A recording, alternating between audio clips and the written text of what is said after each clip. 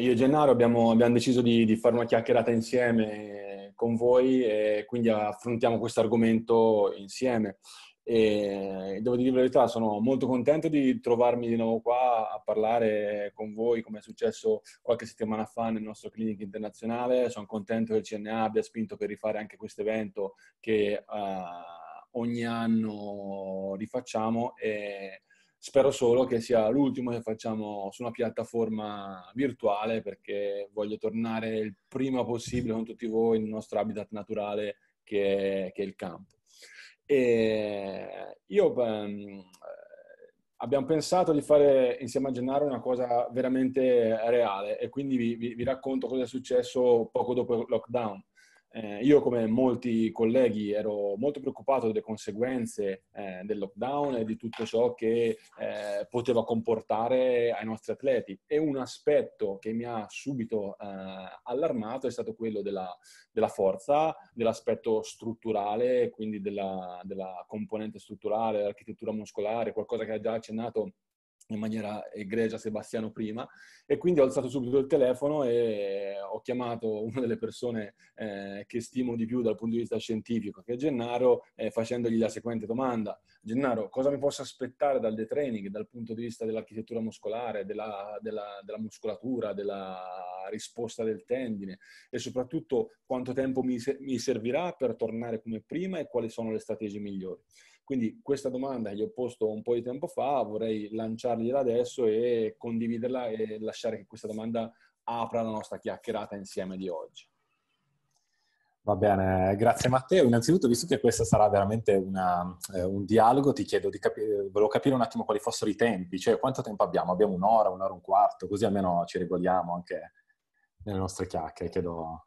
Chiediamo ai padroni di casa a questo punto, a Lorenzo. Eh chiediamo al padrone di casa, diciamo che proviamo a stare nei tempi previsti, avendo tolto 20 minuti, così proviamo a stare okay, nei tempi okay. previsti, Gennaro, va bene? Ok, va bene, va bene, proviamo a stare un'oretta magari, così e vediamo se... Vediamo come procediamo.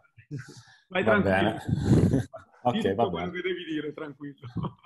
va bene, allora...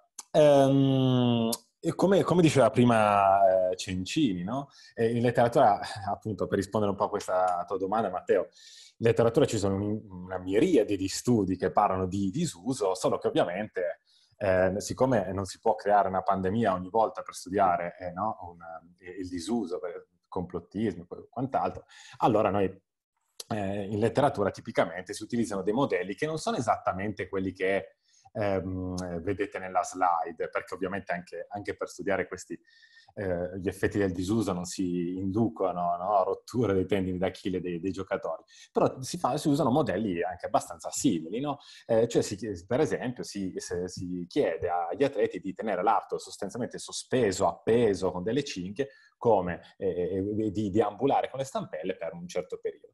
Eh, allora, ovviamente questo non è quello che è accaduto in questo periodo, però prendiamo, pa, diciamo, prendiamo, spunto da questo tipo di studi per capire veramente l'estensione del, eh, di questi effetti.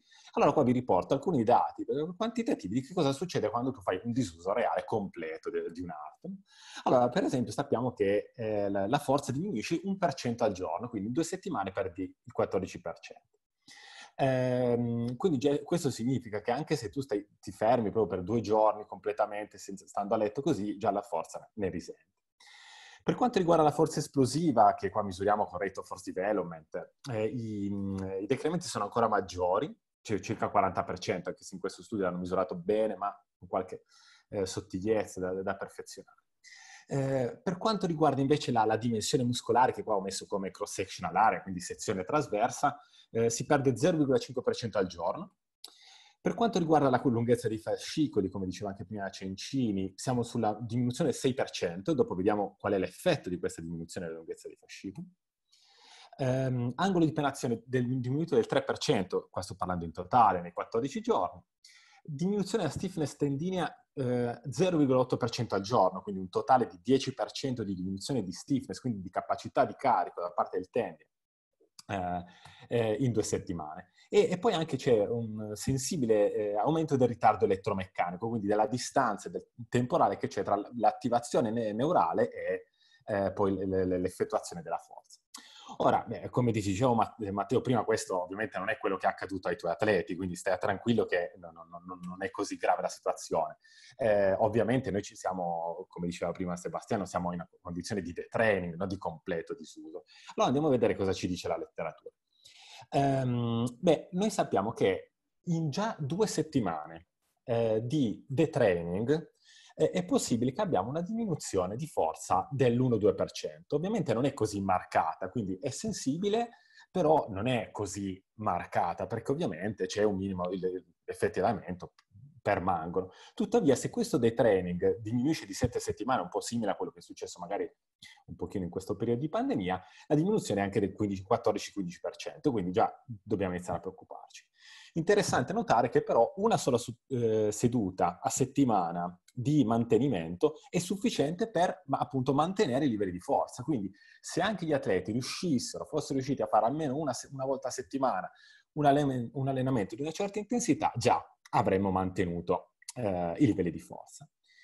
Um, adesso, dal punto di vista invece, vediamo se lo troviamo, Ok, dal punto invece, ehm, eh, di vista di altri fenomeni, di altre espressioni della forza, qua vediamo qualcosa. Per esempio, ehm, in, ehm, in, questo studio hanno fatto otto settimane di concurrent training, quindi hanno allenato sforza e resistenza insieme, e dopo sono stati fermi gli atleti per quattro settimane.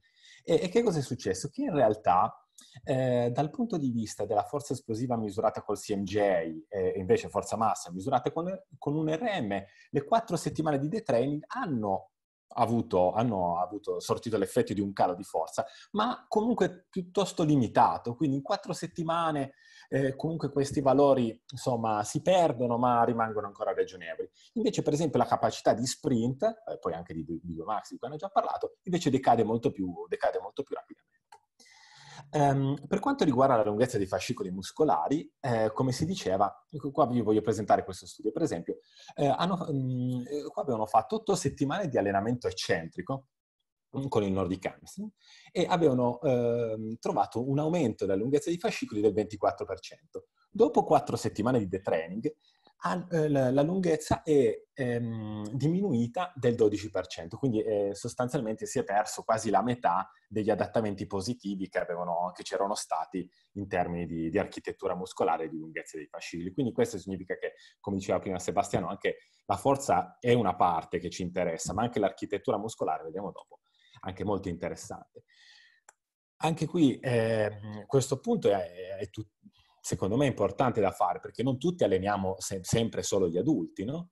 E-, e, quindi, per esempio, io ho letto un sacco di studi, adesso non, non, non so se c'è una meta-analisi su questo, ma in tut- nella maggior parte degli articoli che ho letto, negli adolescenti sopra- e nei preadolescenti, quando il detraining eh, dura 4-6 settimane, non si so, sostanzialmente non si eh, vedono degli peggioramenti sensibili. Quindi anche questo noi dobbiamo contestualizzare no? sempre le cose. Non so se questo, Matteo, è una cosa che a te ti torna, il fatto che negli adolescenti eh, non ci sia tutto questo Guarda, peggioramento, eh... si sta mese e mezzo. Posso dire che, no, che, non ne ho visti tanti ultimamente dopo, dopo, la chiusura, però ho un case study a casa fantastico perché ho due adolescenti e quindi eh, devo dirti che la sensazione, no, ma a parte di scherzi anche confrontandomi con chi lavora con i giovani, sia che eh, la spinta endogena sia molto più importante forse del detraining e quindi eh, tenderei a essere poco preoccupato perché eh, la natura, la genetica fa il suo corso. Sicuramente riadattarli sarà importante perché la parte certo. specifica gli manca completamente, però da questo punto di vista sarei abbastanza sereno.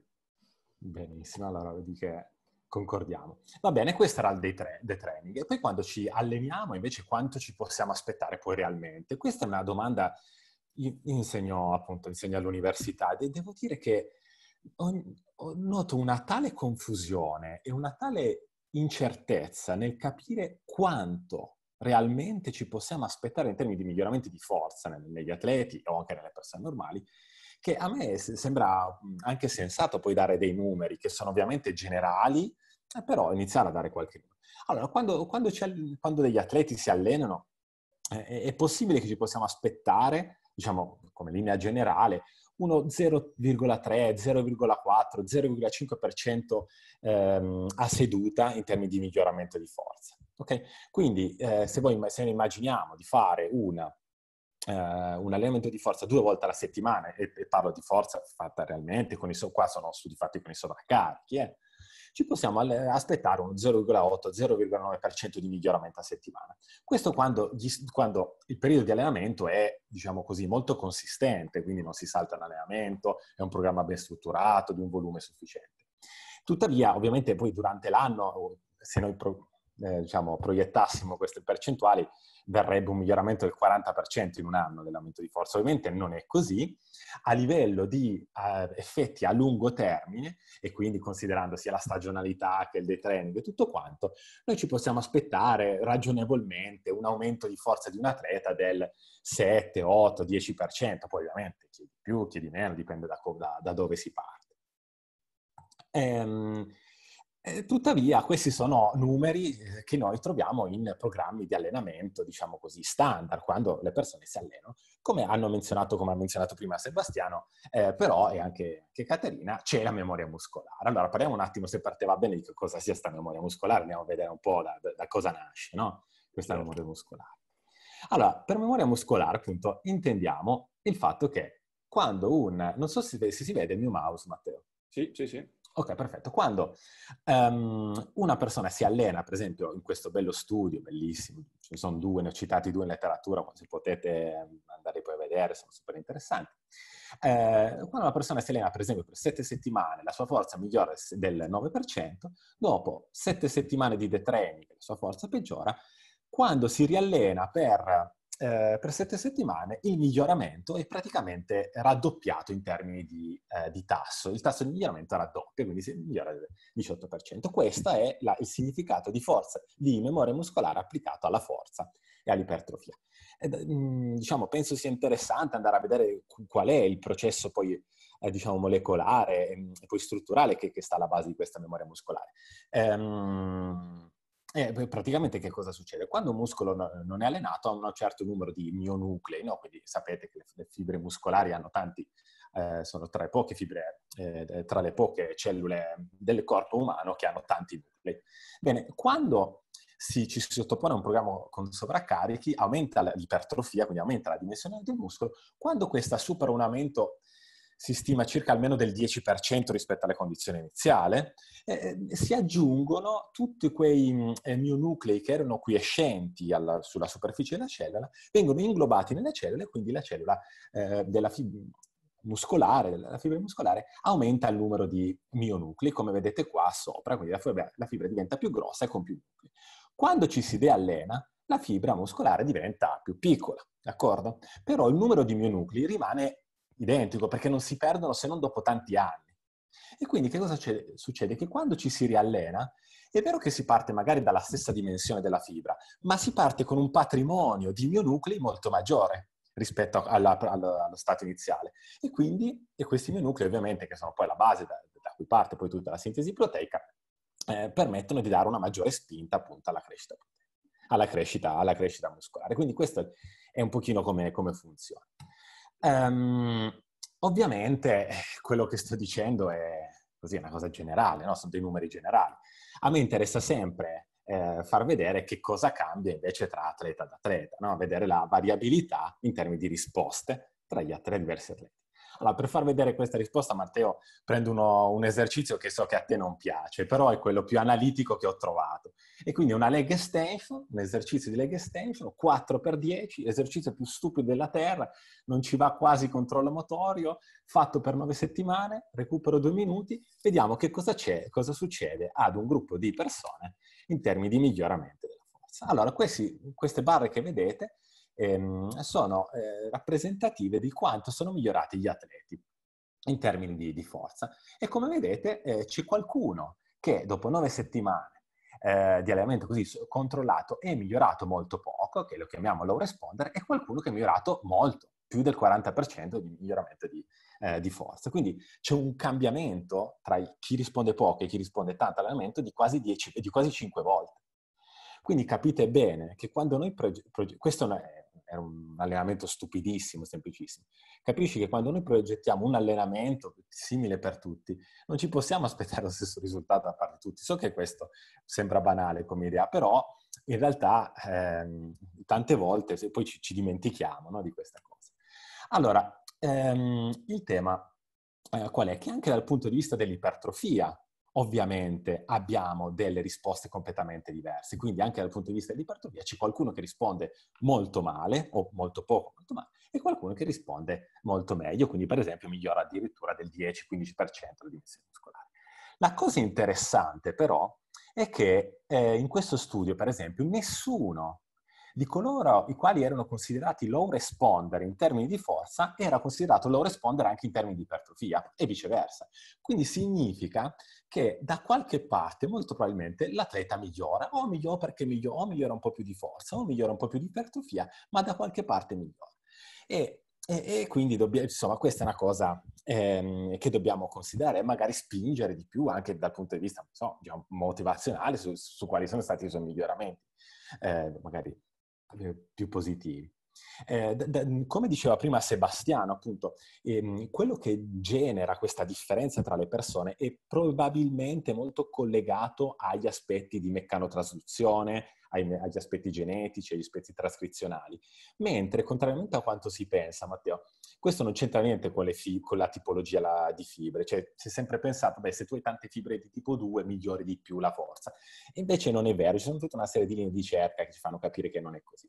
Io non so se a te, Matteo, ti è mai capitato di, far, cioè, di vedere risultati così diversi in termini di, di, di, sì, risposta. Sì. Mi è capitato e a tutti noi è capitato e effettivamente succede no? di darci gran pacche sulle spalle quando va bene e deprimerci quando va male. Le tue osservazioni ci riportano un po' alla realtà e quindi ci fanno stare un po' più eh, obiettivi sapendo che a prescindere dal metodo dell'allenamento l'individualizzazione dell'allenamento e l'individualizzazione della risposta è la cosa alla quale dobbiamo puntare e rimanere, rimanere sempre relativi anche nel giudizio eh, dei risultati che abbiamo.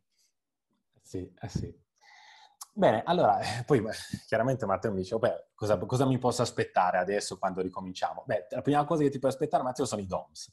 Questo lo sappiamo tutti. Cioè, quando ricominciamo, questi atleti ci avranno i DOMS, d'accordo? Allora, dei DOMS magari non parlerò tanto perché li conosciamo tutti.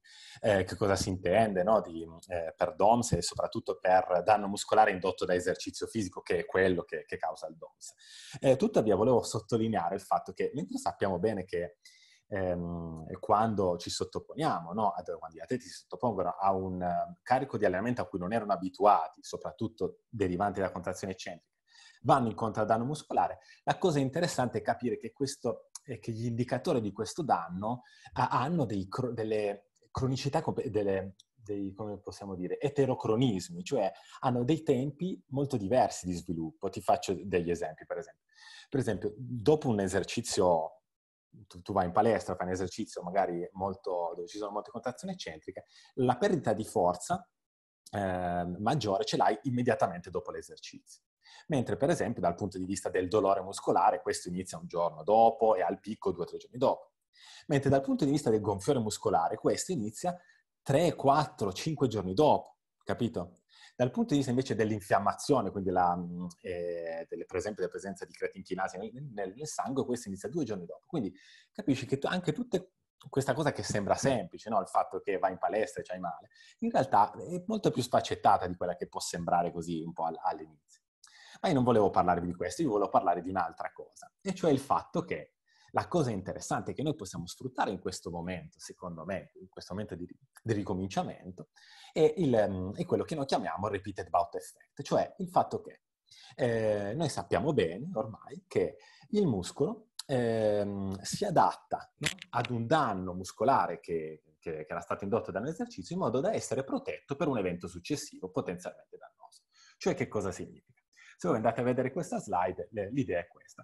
Ehm, quando l'atleta va in, in, sala pesi, per esempio, per la prima volta dopo tanto tempo, ehm, il giorno dopo cioè, avrà sviluppato magari danno muscolare, quindi il giorno dopo ehm, magari inizierà a sviluppare dolore, gonfiore, perdita di forza e così via. La cosa interessante è che se anche questo atleta non si allenasse per 4-6 settimane, se lui ritornasse in palestra a fare esattamente lo stesso identico protocollo di allenamento che ha fatto la prima volta, i marker, gli indicatori di danno muscolare sarebbero notevolmente inferiori. Ok, quindi questo è un adattamento che, che avviene all'interno, diciamo così, del muscolo. Siccome è molto interessante, vorrei spenderci due, palo, due, eh, due parole. Qual è, qual è l'idea? No?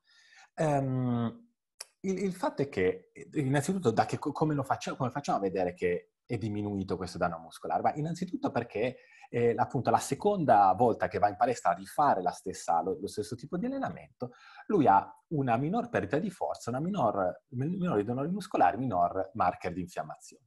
Questi tre meccanismi, tuttavia, sono, diciamo così, hanno un effetto di protezione diverso tra di loro. Perché? Dal punto di vista dell'infiammazione, secondo, la seconda volta che va in palestra ce n'è quasi, ce n'è pochissima, cioè i creatichinasi nel sangue, pochissimi. I DOMS sono un po' di meno, sono un po' di meno, ma non tantissimo. La perdita di forza, che cosa succede la seconda volta? Subito dopo la seduta, ok, si perde quasi la stessa forza, ma questa recupera straordinariamente più veloce, in maniera più veloce. Quindi il recupero di forza dopo è, è, è, molto, più, eh, è molto più rapido. E la cosa interessante, Matteo, è che appunto questo, um, questo, questa protezione dura tantissimo, molto di più di quello che ci potremmo aspettare. Quindi eh, sono appunto fino a sei settimane, ma talvolta si sono visti alcuni effetti anche fino a due o tre mesi dopo. Okay?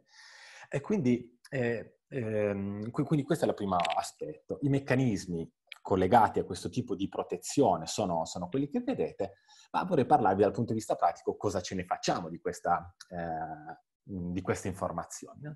Allora, eh, dovete capire che tipicamente questa protezione viene conferita dallo stesso tipo di esercizio, cioè se io faccio nella prima seduta di allenamento un certo tipo di esercizio, per esempio eccentrico, procuro danno muscolare, io dopo sviluppo una protezione per lo stesso tipo di protocollo. Tuttavia, io posso utilizzare anche nella prima sessione di allenamento degli esercizi che mi diano più o meno lo stesso grado di protezione, ma siano inizialmente meno dannosi per il muscolo e quindi così posso ricominciare ad allenarmi un po' più rapidamente.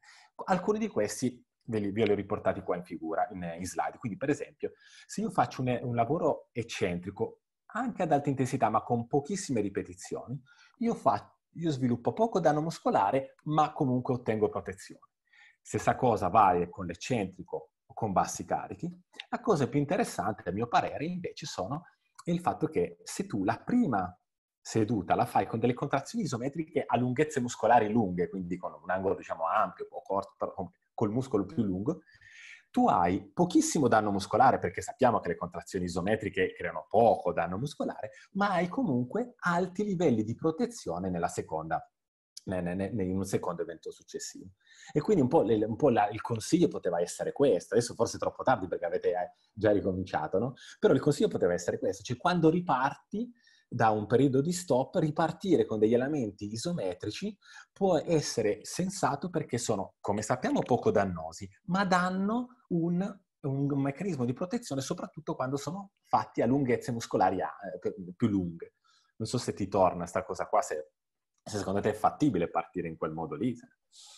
secondo me sì, assolutamente. Siamo tutti in cerca di eh, situazioni, soluzioni che vadano a diminuire i DOMS. Ovviamente in una preparazione pre-campionato non possiamo pensare di toglierli del tutto, ma eh, il vecchio mito eh, no pain, no gain non mi ha mai trovato d'accordo, perché noi dobbiamo trovare delle soluzioni per far sì di adatta- adattare il prima possibile i giocatori senza andare a fare eh, a rallentare o a indurre danni successivi, ma mi, mi sembra che tu parlerai un po' di questo.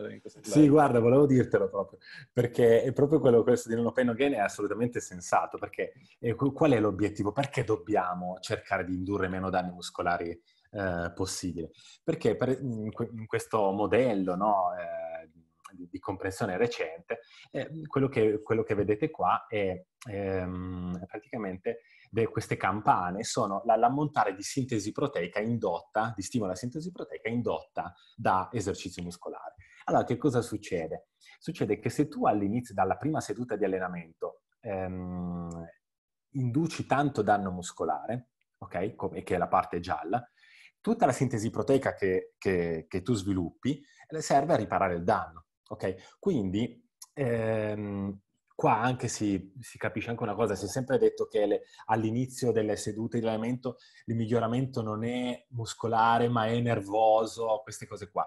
Non è che la prima, sedu- se tu la prima seduta di allenamento fai 4x10 recupero 2 minuti, non è che non, fai, non sviluppi sintesi proteica, la sviluppi e come, solo che se all'inizio tipicamente non sei adatto e quindi ehm, hai tanti DOMS, quindi tutta la sintesi proteica che crei serve a riparare il danno. Ok? E poi pian pianino, chiaramente con il repeated bout effect, il danno che crei è sempre minore, quindi pian pianino la porzione di sintesi proteica orientata a sviluppare ipertrofia invece è, è sempre maggiore. No? Quindi questo secondo me mette un pochino insieme eh, un po' di pezzi, almeno, almeno a, me, a me torna come cosa. Bene, ecco, sfatato il mito del no pain no gain, cosa ci dici dello stretching per i DOMS? Eh, ok, per i DOMS è lo stretching. Faccio un passo quindi un pochino laterale. Sono andata a controllare questa cosa perché sapevo che me l'avessi chiesta. Allora sono andato sulle, mm, eh, diciamo così, sulle revisioni più, più, più, solide che ci sono dal punto di vista, insomma, in letteratura scientifica. E ho trovato questo. Insomma, non ci sono buone notizie, mi dispiace Matteo. Ehm, allora, in letteratura del tutto, questa revisione molto grande dice questo. Che se tu fai lo stretching prima dell'allenamento che potrebbe indurre i DOMS, hai una riduzione dei DOMS veramente limitata, statisticamente significativa, ma clinicamente poco rilevante, meno 0,5% di DOMS. Se tu fai lo stretching dopo, hai una diminuzione altrettanto significa- statisticamente significativa, ma poco rilevante dal punto di vista clinico, perché di nuovo una diminuzione dell'1% non è difficile poi da, da, da sentire. Ehm, quindi diciamo che la sensazione che già la, la, non è molto eh, interessante.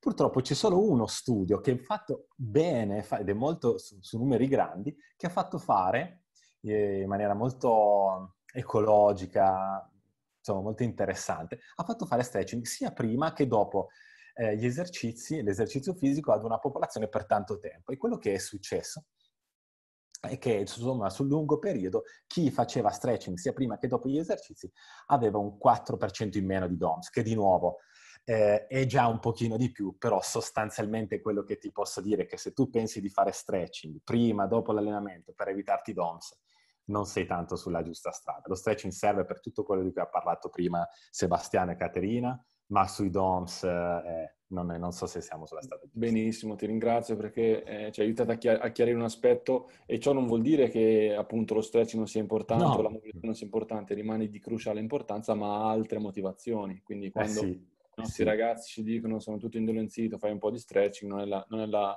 la indicazione più adatta. Eh sì. Bene, ehm, allora, come, come, diceva prima Sebastiano, va bene, la, la, l'ipertrofia, la, eh, a noi ci, ci, interessa, l'ipertrofia muscolare in questo periodo ci interessa e, e noi tipicamente no, la, misuriamo o sappiamo con la sezione trasversa del muscolo o con la ehm, sezione trasversa fisiologica che sarebbe sostanzialmente ehm, ortogonale. Eh, superficie ortogonale rispetto alla lunghezza delle fibre muscolari. Tuttavia la, la, la dimensione del muscolo, che pure i, i, tuoi giocatori hanno sicuramente un pochino perso, ehm, non ci dice tutto del, del, muscolo. Infatti sappiamo quanto è importante l'architettura muscolare, quindi l'organizzazione tridimensionale delle, della struttura muscolare. E eh, in particolare noi quello che andiamo a vedere è la lunghezza dei fascicoli muscolari, okay, e il loro angolo di penetrazione, come diceva prima eh, Sebastiano. Questi sono i, i parametri che noi identifichiamo con architettura. Andiamo a vedere come mai, al di là della dimensione, l'architettura è importante. Qua sarò brevissimo, eh, anzi corro ve- velocemente, mm, per farvi capire, da vent'anni ormai che, che, sappiamo che la lunghezza dei fascicoli muscolari, al netto della dimensione del muscolo, la lunghezza dei fascicoli è importante per tutti gli sport, gli sport di sprint e di potenza. Qua vedete tutti gli sport d'estate indacata, ce ne sono probabilmente anche di più. Qualcuno dice che la lunghezza dei fascicoli muscolari è anche utile per gli sport di endurance, ok? Ma la cosa che a noi in questo momento più interessa di più è la seguente, e cioè il fatto che ormai da eh, qualche anno si sta riconoscendo sempre di più che la lunghezza dei fascicoli muscolari è collegata a rischio di infortunio. Allora, in questo studio famosissimo, è stato poi replicato altre volte, che cosa vediamo? Vediamo un gruppo di giocatori a cui è stata misurata la forza in eccentrico con il Nordic Hamstring e eh, la lunghezza dei fascicoli muscolari del bicipite femorale. Ecco, quello che vedete in grigio sono tutti i giocatori, in blu ci sono quelli che si sono infortunati sugli hamstring durante la stagione. Ed è del tutto evidente che c'è un raggruppamento di giocatori che sono ad alto rischio di infortuni degli hamstring, coloro i quali, hanno, coloro i quali hanno una bassa forza in eccentrico e una corta lunghezza dei fascicoli. Quindi è del tutto evidente che a noi ci interesserebbe capire, oltre a migliorare la forza, che è la nostra tra i nostri interessi anche come allungare i fascicoli muscolari, come faccio a allungarli. Ehm, eh, allora, benissimo, il nostro eh, mio amico, collega ehm, eh, Franchi, cioè, cioè, per esempio, citiamo questo articolo che mi piace molto, ce lo fa vedere. Che cosa hanno fatto qui? Hanno fatto eh, una pressa in eccentrico e in concentrico, quindi ha preso due gruppi di persone, eh, qualcuno ha fatto sono inconcentrico, qualcuno solo in modalità eccentrica ad alta intensità, quindi hanno usato un'intensità che era l'80% della loro forza massima o concentrica o eccentrica, e cosa è successo? Che dal punto di vista dei miglioramenti della forza, misurata qui come un RM, più o meno è stato simile nelle nelle due modalità. Dal punto di vista della dimensione muscolare pure piuttosto simile, con pochissime differenze, ma la cosa interessante è che L'allenamento svolto in modalità esclusivamente eccentrica ha aumentato la lunghezza dei fascicoli, quello svolto in modalità concentrica ha aumentato l'angolo di pennazione. Quindi è del tutto evidente che se noi puntiamo ad allungare, ad aumentare la lunghezza dei fascicoli, è possibile, dobbiamo puntare sull'allenamento eccentrico. Allora io qua di nuovo ehm, eh, qua c'è un, mecc- un, meccanismo proposto di come mai potrebbe capitare questo, però vado velocemente perché se non abbiamo tempo. E qua ti faccio vedere, Matteo, un esercizio che di nuovo so che a te non piace tantissimo, ma siccome c'è un sacco di letteratura a riguardo, e dove ce n'è di più, ti faccio vedere che cosa hanno trovato dal punto di vista delle, le, delle meta-analisi sull'allenamento eccentrico con il Nordic Chemistry. Ok, vedete qua sulla parte destra della slide la metodologia, ovvero termini di protocolli, che cosa hanno ottenuto eh, quando hanno fatto fare degli a degli atleti il Nordic Chemistry. Va bene, chiaramente un aumento della forza eccentrica, soprattutto in chi era molto debole, ok? Hanno, a, hanno visto un aumento della lunghezza dei fascicoli eh, de, del capolungo del bicipite, ok? E questo è interessante, Matteo. L'aumento della lunghezza dei fascicoli è avvenuto anche eh, nelle persone eh, a, cui non è aumentata la forza. Quindi al di là del miglioramento della forza, si riesce comunque a ottenere un miglioramento delle lunghezze dei fascicoli. Quindi eh, questo è visto come un meccanismo di protezione in termini di infortuni, anche al di là dell'aumento di forza, che comunque sappiamo, come ha detto benissimo prima Sebastiano, che, un, che di per sé è un meccanismo protettivo l'aumento della forza. Eh. Ehm, diminuzione dell'angolo di pennazione, dal punto di vista della dimensione muscolare, neanche tanto, poco o nulla aumento. La cosa che può interessare a te è che eh, questi miglioramenti sono stati ottenuti anche in, um, quando sono stati utilizzati protocolli basso, a basso volume, quindi anche solo 10-20 ripetizioni di una di chemistry a settimana, almeno di, come mantenimento, sono assolutamente utili e a, già sufficienti per dare, qualche, per dare degli stimoli. Poi sappiamo, dalla meta-analisi ci dicono che quando i protocolli di allenamento che includono Nordic Chemistry fa diminuire gli infortuni, probabilmente per tutte le questioni che ci siamo dette. Non so se ti torna sta cosa qua, mi dispiace così parlarti così tanto di un articolo di un esercizio che non ti piace. Ma... No, guarda, invece sostengo, sostengo che, che, che, mi piace il Nordic Chemistry e ti, e ti vorrò motivare la, la, l'affermazione.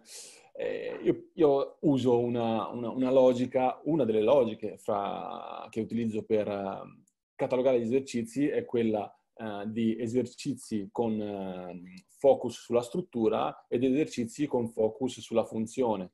O meglio, forse più sul movimento direi che la funzione, perché dopo la funzione ci abbiamo a mettere in, in strade strane con i termini, l'allenamento funzionale, perché eh, per me l'allenamento funzionale o esercizio funzionale è tutto ciò che assolve il compito di raggiungere un obiettivo, quindi ogni esercizio anche analitico come questo può essere altamente funzionale.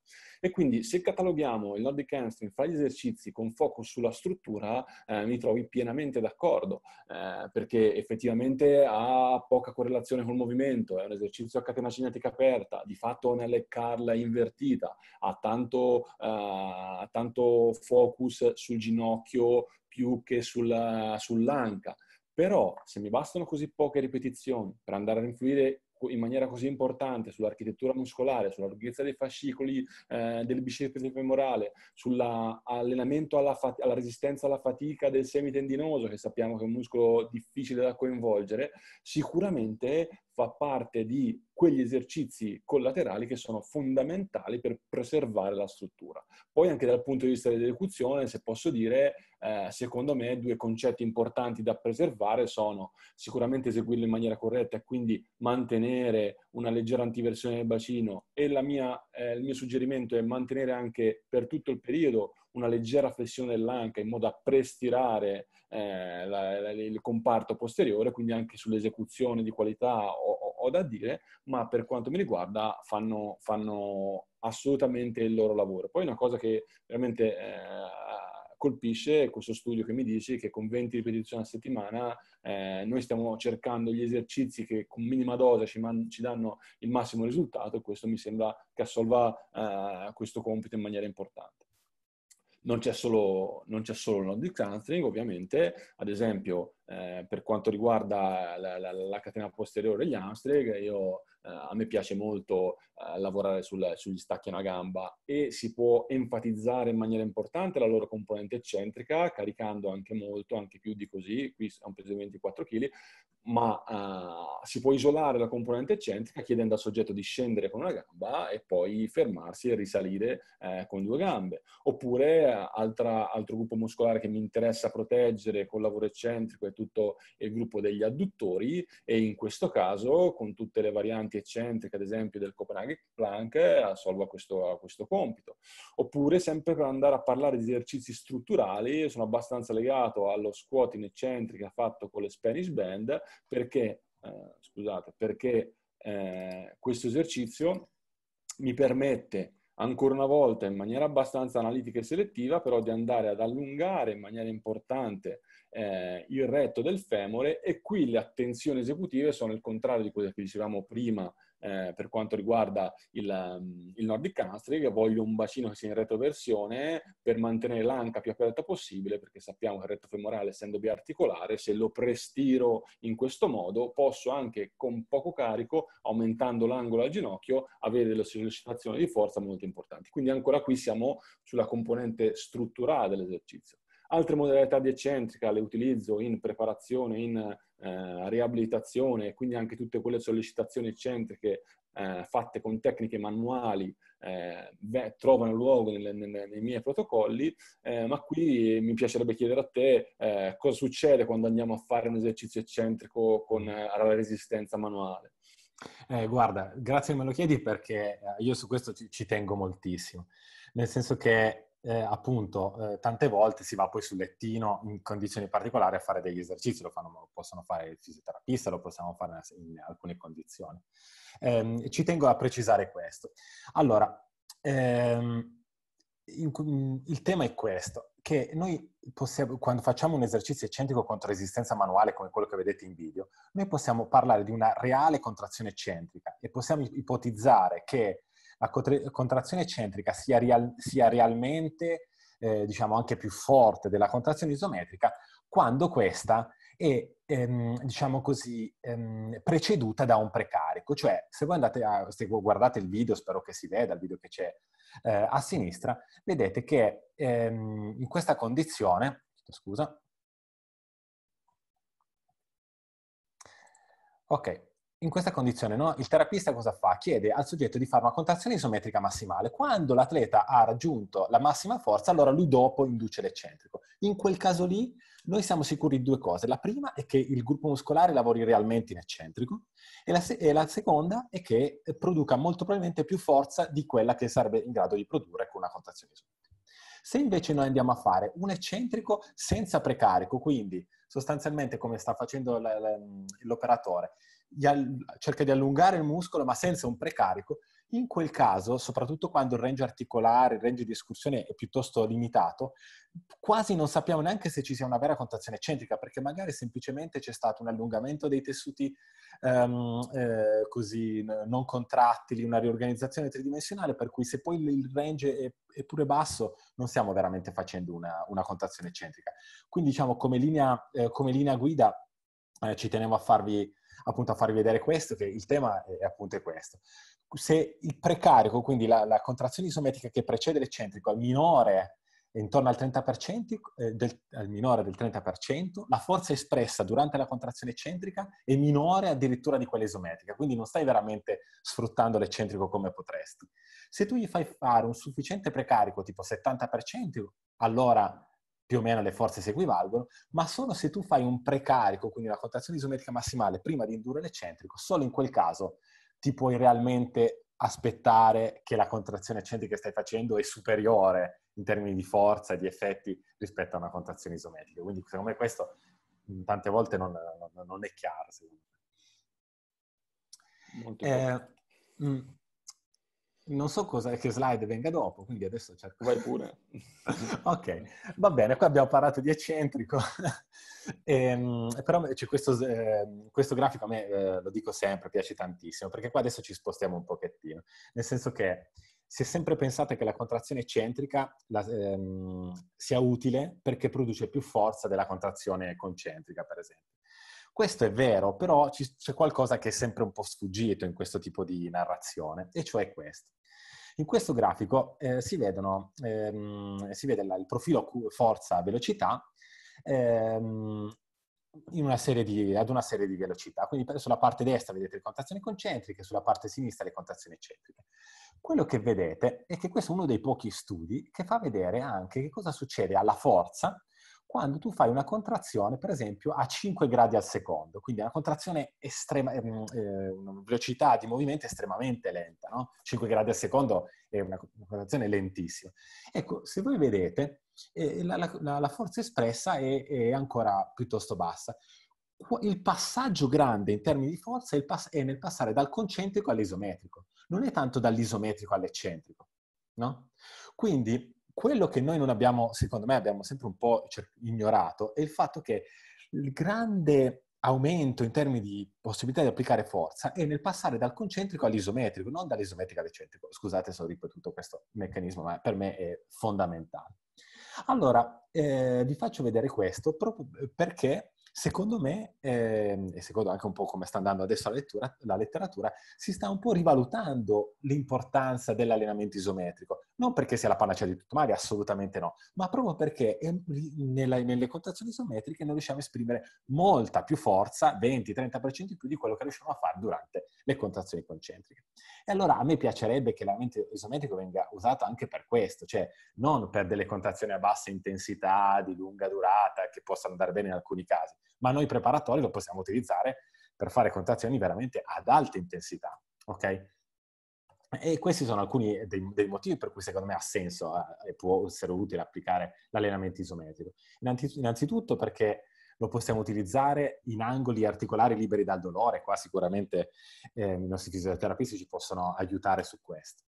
Um, poi dopo perché appunto si riesce a produrre più forza rispetto alle contrazioni concentriche, ma senza i rischi di danno muscolare che invece hanno le contrazioni eccentriche.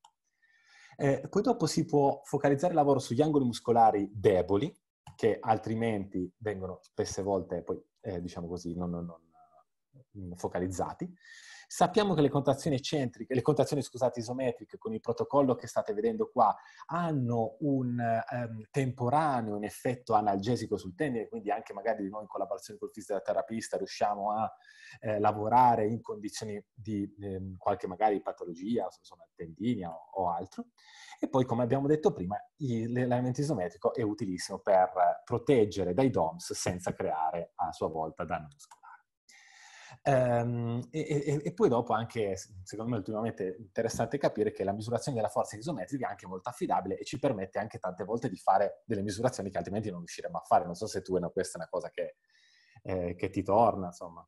Sì, sì, assolutamente. Anche, anche qui eh, l'isometrico è, è, si assesta assolutamente fra gli esercizi con focus sulla struttura ancora, no? Perché ovviamente stiamo lavorando su quello. Però io eh, lo utilizzo molto.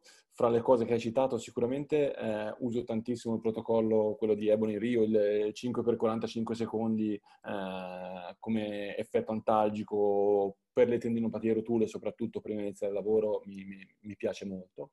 Eh, sicuramente lo utilizzerò ancora di più dopo aver sentito i tuoi consigli per tutto ciò che ha a che fare con il repeated bout effect, perché sicuramente è una strategia molto molto interessante e lo uso per la misurazione della forza in alcune situazioni.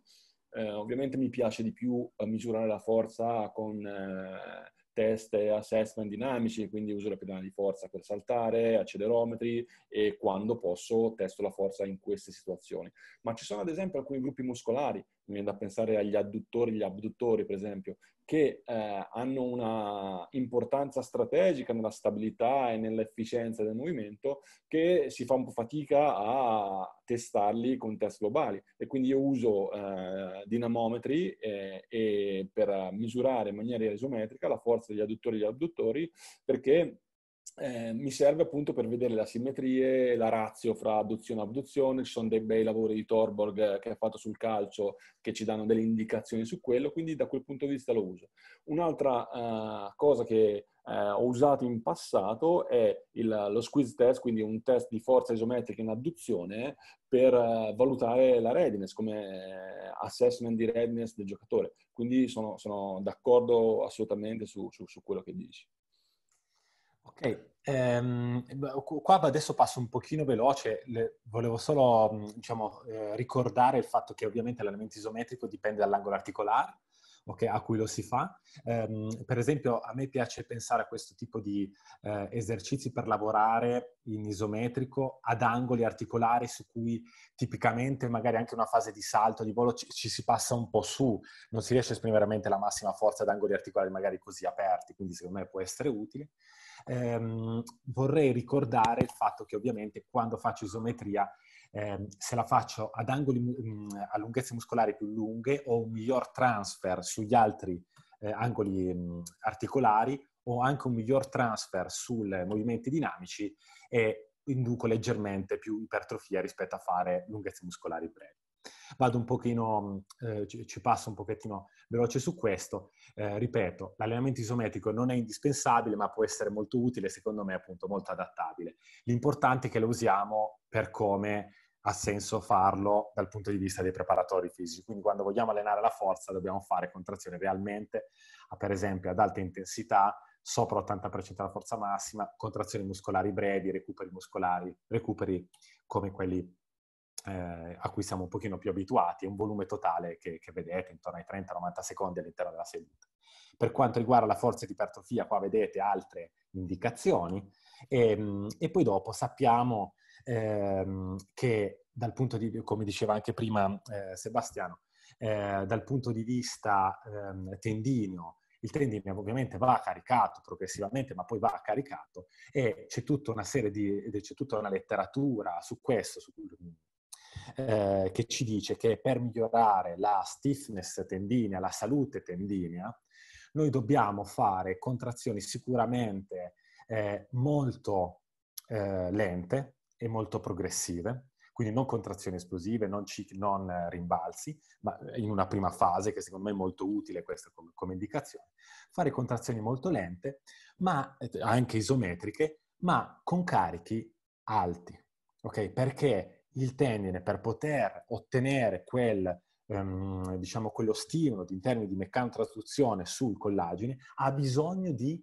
allungarsi, eh, di sentire quindi uno stress in allungamento sufficiente e questo ce l'abbiamo solo quando usiamo dei carichi piuttosto alti. Ci sono una serie di studi che ci dicono che almeno il 70-80% della forza massima in maniera progressiva ovviamente nel nostro programma, ma dobbiamo puntare a quello.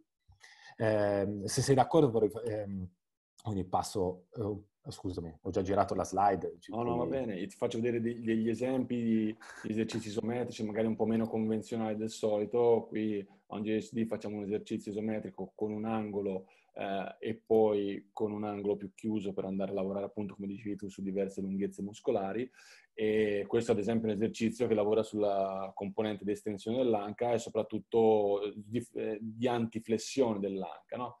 Eh, così come ci sono tanti altri tipi di esercizi, questo che vedete qua è proprio il protocollo dei 45 secondi antalgico e poi altri mille esercizi dei, fra i più comuni con i vari pattern.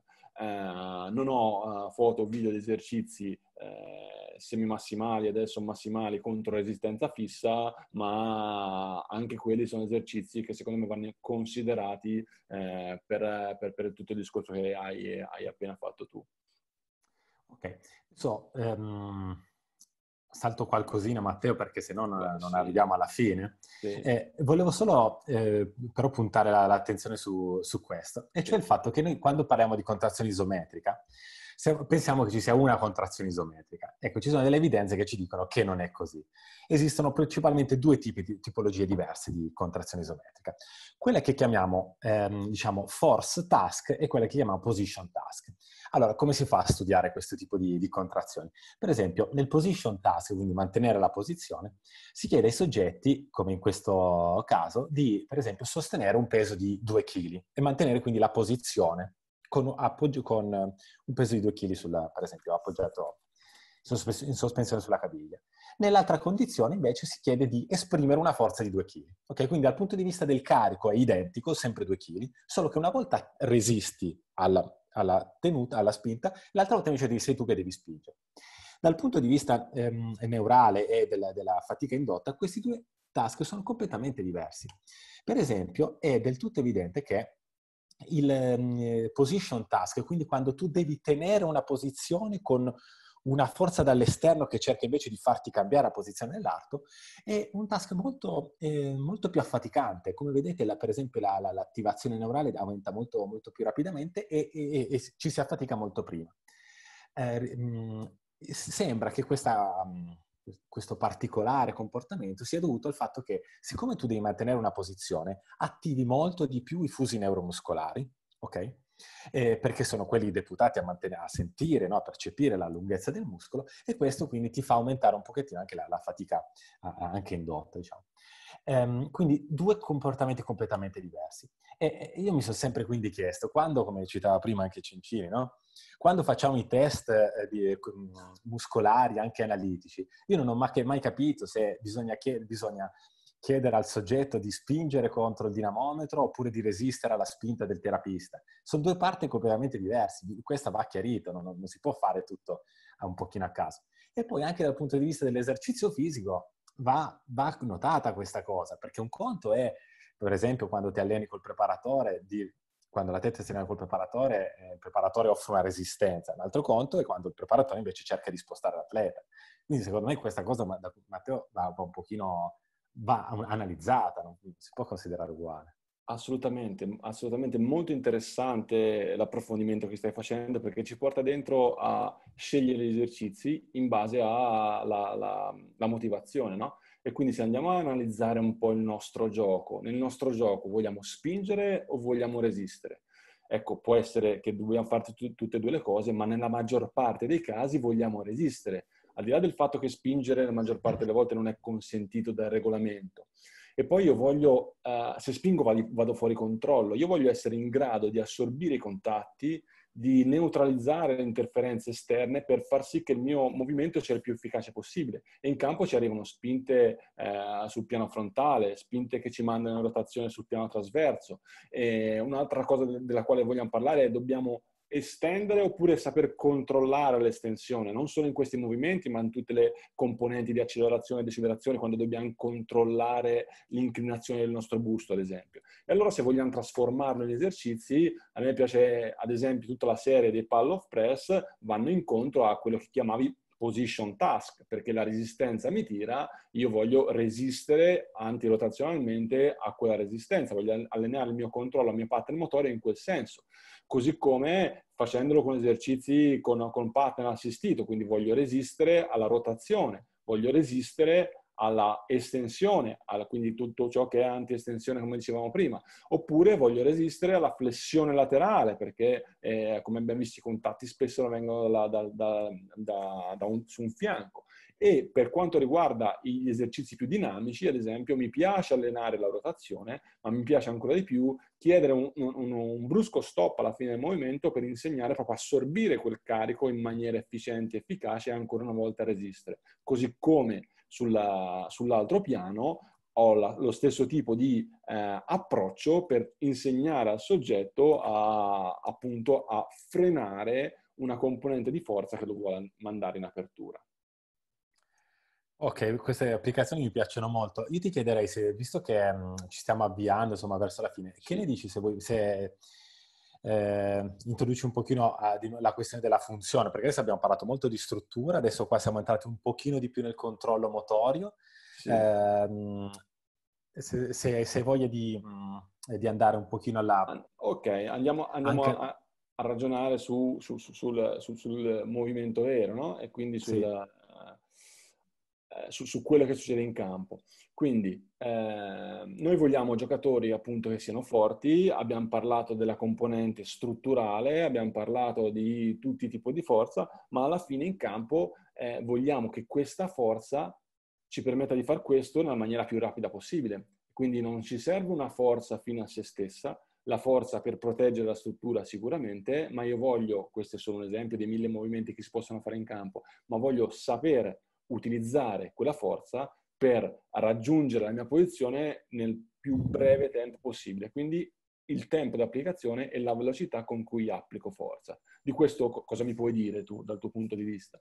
Ma guarda, noi purtroppo quando facciamo ricerca non facciamo, eh, almeno io non, non analizzo gesti così specifici, no? Però quando devo analizzare la, la, la capacità di esprimere forza in, in brevi tempi, eh, eh, insomma, è comunque molto interessante anche dal punto di vista della ricerca. Di solito chiedo, eh, per esempio, questo, nel caso che vedete qua nel video, per esempio, chiedo al, ai soggetti di raggiungere una certa forza, per esempio 70, 80, 90% della loro forza, nel minor tempo possibile, come vedete qua nel video. E perché mi interessa questo?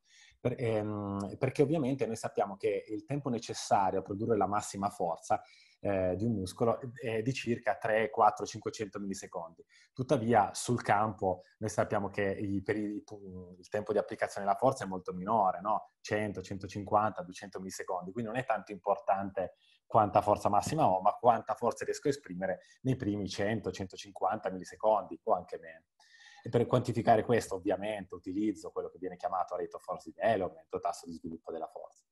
La cosa appunto importante eh, da capire è questa, che ehm, se, io conf- se, io cerco di confrontare due atleti, per esempio, nella loro espressione di, di forza, per esempio un, un atleta blu, un atleta giallo, mentre l'atleta giallo sicuramente è quello che ha più forza massima, l'atleta blu è quello che riesce a raggiungere una certa forza nel minor tempo possibile. Quindi, da un certo punto di vista, in alcune situazioni di gioco può essermi più utile l'atleta giallo, ma in molte altre situazioni di gioco mi è molto più utile l'atleta blu, quello che riesce a esprimere tanta forza in breve tempo, capisci? Um, il tema è questo, il tema è che la forza espressa nei primi 50, 100, 150 millisecondi dipende tantissimo dall'attivazione neurale, ok? Ti faccio, quantitativamente ti dico questo, che ehm, le persone in media nei primi 50 millisecondi di espressione della forza eh, attivano i loro muscoli circa al 40%, con un grandissimo range tra, di, grandissimo divario tra le persone, cioè nel senso che c'è qualcuno che attiva solo il 10%, qualcuno che riesce a attivare fino all'80% nei primi 50 millisecondi. Quindi capisci che dal punto di vista neurale, dell'attivazione neurale, questo è centrale. Allora uno mi potrebbe dire, sì, vabbè, ma che mi interessa dei primi 50 millisecondi? Sembra una, una quantità così effimera che non, che non la, non la capisco, no? E, invece noi sappiamo bene da, da, questo tipo di studi basati su videoanalisi che per esempio le lesioni di legamento crociato, qua l'hanno fatto sul calcio ma sulla pallacanestro è identico, avvengono nei primi 50 millisecondi eh, dall'appoggio a terra, sia quando fanno dei cambi di direzione che da, in termini di ristabilizzazione posturale. Quindi è sensato questa cosa, ha un, ha un senso. E la cosa che, pot- che eh, ha ancora senso di parlare in questo momento è la seguente, per esempio, è, so che non è un, un confinamento da, da, Covid, ma per esempio sappiamo bene che ehm, quando, per esempio questo studio fa vedere che ehm, dopo ricostruzione legamento crociato, a sei mesi da ricostruzione legamento, le persone facilmente ottengono, ritornano a dei valori di, di forza che sono praticamente pari a quelli dell'arto sano, ma dal punto di vista delle, della, del tasso di sviluppo della forza hanno ancora dei deficit molto alti, capito? Quindi di nuovo la forza di per sé va bene, ma a noi interessa ehm, eh, quanta forza si riesce a esprimere in poco tempo. Allora io dal punto di vista pratico ci terrei proprio a, questo, a dare questo suggerimento, perché per quanto riguarda le, le, il tasso di sviluppo della forza e la forza esplosiva, la chiave, vedrai, non è tanto, cioè può essere anche il carico, ma la chiave è l'intenzione proprio eh, mentale, cioè è le istruzioni che diamo agli atleti, ovvero quando io voglio allenare un atleta per il tasso di sviluppo della forza, l'importante è che io dica, pronunci praticamente queste parole, poi ci si accorda, ma più o meno è questo. Devi spingere mh, hm, più veloce e più forte che puoi focalizzandoti sull'istante in cui inizi la contrazione. Questo è il messaggio, l'istruzione verbale da dare. Non va bene, anche se sembra simile, ma non è adeguato dire spingi più forte e veloce che puoi. Perché se dici spingi più forte e veloce che puoi, la prima cosa che sentono è la forza e quindi pensano alla forza massima, inconsciamente, insomma, non così tanto, ma sostanzialmente ci fa deviare. Invece noi dobbiamo dire spingi più veloce, più forte che puoi, concentrati sull'inizio, sull'istante iniziale della contrazione. Qualsiasi eh, gesto poi utilizziamo può andare bene, se specifico, generale, va bene, ma questa è l'indicazione. Ehm, se per te va bene, Matteo, non so, guidami un pochettino tu, posso, faccio vedere, facciamo vedere magari questi ultimi due sì, concetti sì, qua. Sì, che ne dici? Può andare bene? Facciamoli vedere. Mm? Ok, perfetto. Allora, un'altra cosa che è importante, la seconda cosa importante quando voglio lavorare sulla forza esplosiva, che abbiamo detto calare molto dopo un periodo di detraining, molto più della forza massima, è la seguente, che la forza esplosiva non dipende solo appunto dalle, dall'intenzione, ma dipende dallo stato di preattivazione da cui parte l'atleta. Ok? Quindi che cosa significa? Significa che a seconda di cosa succede prima della contrazione esplosiva, io ottengo esplosività diverse. Allora, il modo per ottenere la minore esplosività in termini di contrazione perché si ottiene la minor attivazione neurale è quello da, di partire da uno stato di, preattivaz- di, di preattivazione, scusate. Quindi come per esempio quando faccio uno squat jump senza contromovimento, quindi il muscolo è contratto isometricamente e poi esplodo, è un esercizio che può andare bene, ma devo sapere che dal punto di vista dell'esplosività non è alta, eh, proprio dal punto di vista neurale e, invece ottengo un'esplosività maggiore se parto anche dallo stesso angolo ma da una condizione di riposo, quindi come per esempio eh, seduto su una panca. In quel caso riesco ad attivare le unità motorie con maggiore frequenza e quindi ottengo un'esplosività maggiore. Ancora meglio se faccio quello che viene considerato da molti un, uno squat jump sbagliato, cioè quando noi chiediamo di fare uno squat jump, molti atleti cosa fanno? Fanno un piccolo contromovimento, fanno un piccolo silent period, lo chiamiamo, un piccolo momento di silenzio e poi dopo saltano. Noi diciamo che stanno sbagliando, in realtà stanno semplicemente attuando una, una strategia per eh, riuscire ad attivare quelle unità motorie che altrimenti non riuscirebbero ad attivare se fossero realmente eh, in uno stato di attivazione. Okay? Quindi quel piccolo contromovimento in realtà è totalmente funzionale. Ma se vogliamo massimizzare ancora di più l'esplosività, dobbiamo fare proprio un, addirittura contrarre brevemente e rapidamente gli antagonisti, come in questo video qua. Ok? Quando, cioè, per esempio, sono contratto, poi dopo faccio tripla flessione, quindi richiamo i piedi a terra e poi li sbatto a terra forte. Quella è la condizione in cui ottengo maggiore esplosività. Quindi contraggo l'antagonista per poi riattivare rapidamente l'agonista subito dopo. Questo è un po' un, un continuum no? di, di, di, modalità di, di, fare contrazioni esplosive. Spero che ti possano... No, queste sono eh, osservazioni di grandissima qualità e penso molto molto importante per tutti noi, perché noi da preparatori siamo sempre concentrati su questi aspetti e queste modalità e cercato il modo di essere più vicini a tempi di applicazione della forza che richiedesse il campo tramite esercizi speciali, specifici, adattati, eh, però ci siamo concentrati forse sul, solo sull'aspetto di eh, ciclo allungamento accorciamento e riuso elastico. Questo focus che fai sulla preattivazione e sull'attività pre- precedente, secondo me ci può aprire scenari anche dell'allenamento molto molto interessanti, quindi questa è una insight di grandissima qualità. Mi dico anche che Oltre però a questo, a questo, si può andare ad influire sulla, sul rate of force development, quindi sulla, sul tasso col quale esprimo forza, anche con il carico. Eh, qui ho fatto uno, uno, un esperimento veramente eh, da campo, da palestra, quindi ti, ti, ti, prego di dirmi se vado eh, molto lontano da quello che dice la letteratura, però eh, a questo soggetto ho fatto fare cinque movimenti diver- uguali con carico diverso, quindi ha fatto di fatto un, uno, uno stacco con la trap bar. La premessa sulla quale torno dopo è che a tutti quanti gli esercizi era stato richiesto di andare più veloce e, po- e forte che puoi, quindi la, l'indicazione è stata quella che dicevi tu prima.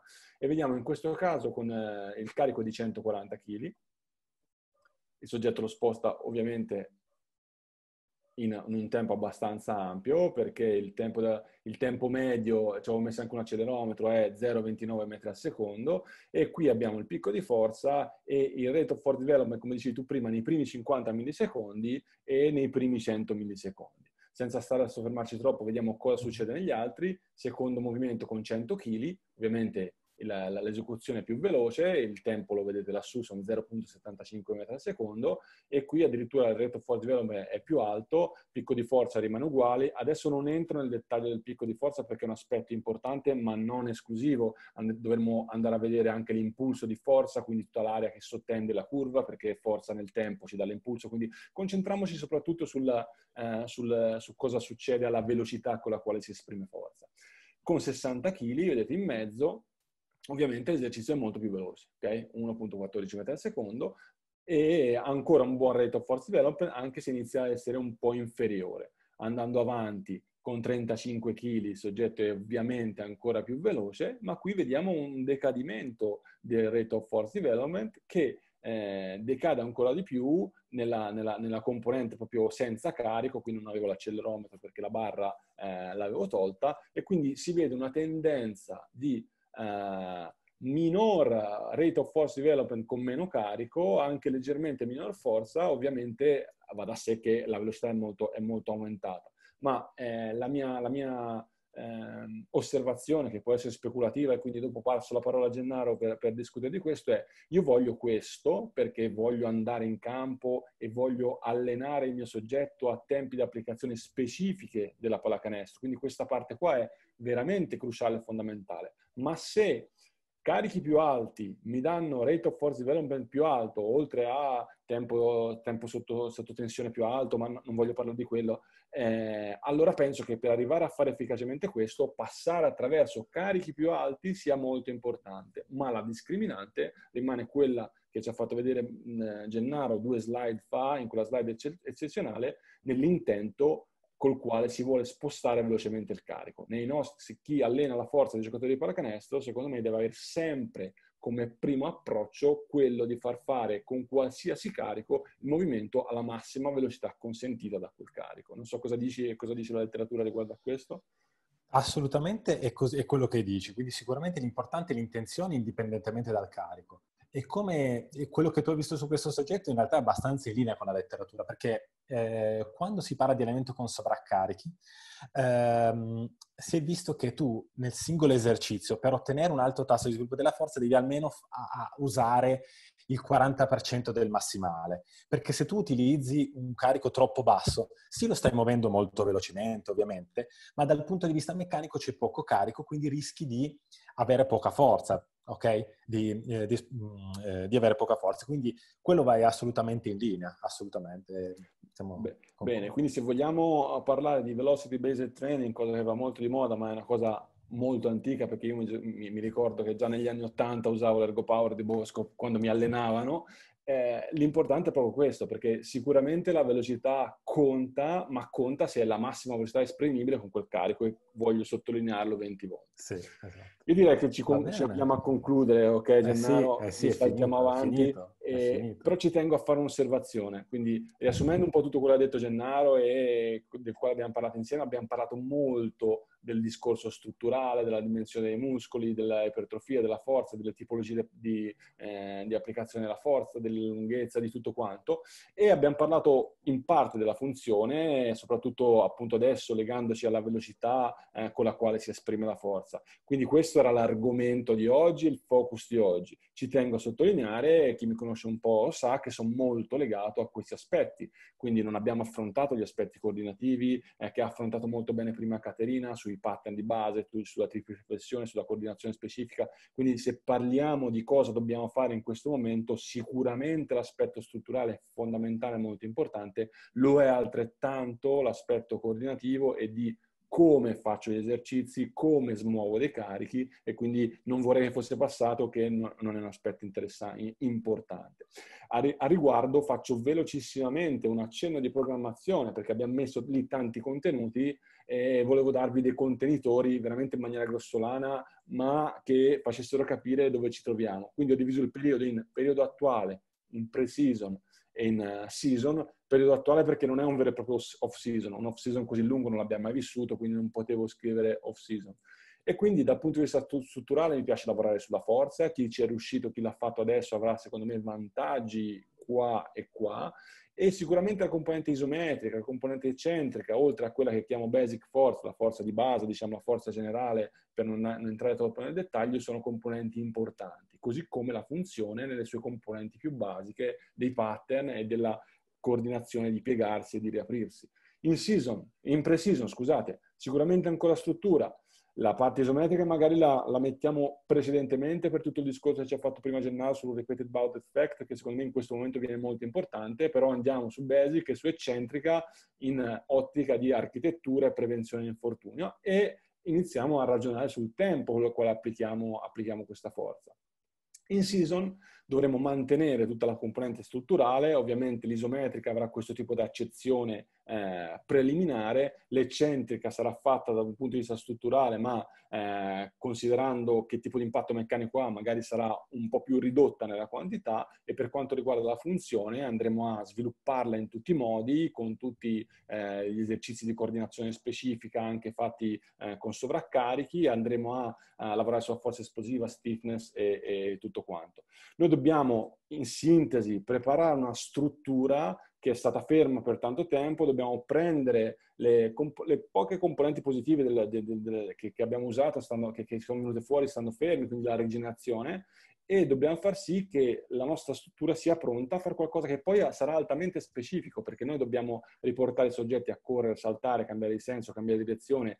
La... Faccio l'esempio che abbiamo fatto prima, la componente tendinea dovrà adattarsi a fare eh, esercizi e movimenti con velocità molto alte e tensioni altissime, ma per farlo dovrò passare da, ad esempio, l'isometria lenta, il carico, perché mi prepara la struttura dal punto di vista della meccanotrasduzione e tutto quello che abbiamo detto.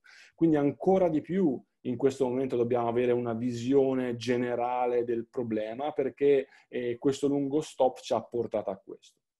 Io eh, vi voglio salutare ringraziare passando veloce questa slide che avevamo deciso di mettere con Gennaro perché eh, siamo molto, molto vicini al concetto di pratica basata sulle evidenze. Quindi c'è una esperienza e la, una parte pratica che fa delle domande alla parte scientifica e questo eh, impallare domanda e risposta è quello che ci serve per crescere e cercare le strategie migliori da adottare.